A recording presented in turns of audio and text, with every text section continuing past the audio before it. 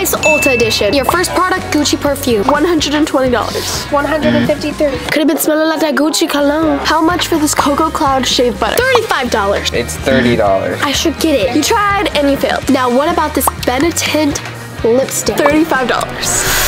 18. 18. You were really wrong. I thought it was way more expensive. How much for this Too Faced makeup kit? I'm gonna be a little crazy and say $10. 48. Not even close. What about the Paradise on Ice Petite Pretty Palette? Oh, I know this one. $34, obviously. You're wrong. No, it literally says $34. But it's 35% off because of Black Friday sales. But I wanna get it anyways.